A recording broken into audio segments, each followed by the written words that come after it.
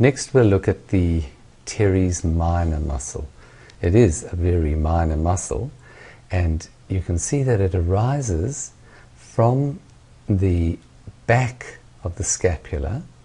It attaches just to, it has a small area of attachment here, just underneath the infraspinatus, which overlies part of the muscle, so the muscle runs in under there.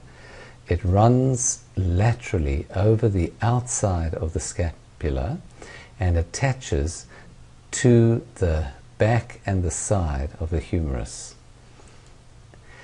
The function of the, of the teres minor muscle is very much the same as the infraspinatus. You see, they run in tandem, and it almost acts, uh, Travell and Simons say, it acts as the little brother of the infraspinatus muscle.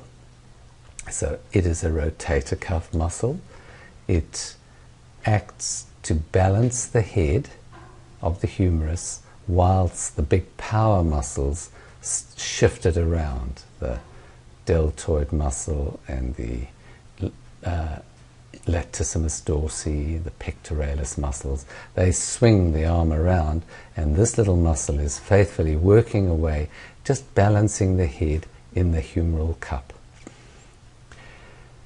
This does become activated quite often and you find trigger points and when you have a trigger point which occurs just here you can see just at the lateral border of the scapula where it joins where it runs over the glenohumeral joints just at this area that's where your trigger be, you, occurs when it's turned on the pain is felt mainly over the lateral upper arm and radiates down a little bit into the upper arm over the lateral aspect. It's a deep, achy pain.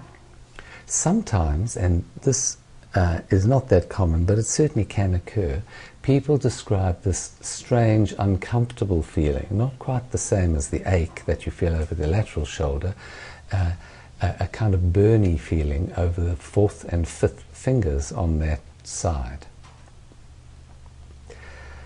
when the trigger point is activated, the muscle becomes tighter and you get a band within it. And therefore, the function of this muscle, when it contracts, is to stabilize the head of the humerus and also it very weakly externally rotates the upper arm. So when trigger points are activated in the muscle itself, it tightens and therefore internal rotation of the arm or adduction, moving the arm across the body, are slightly restricted.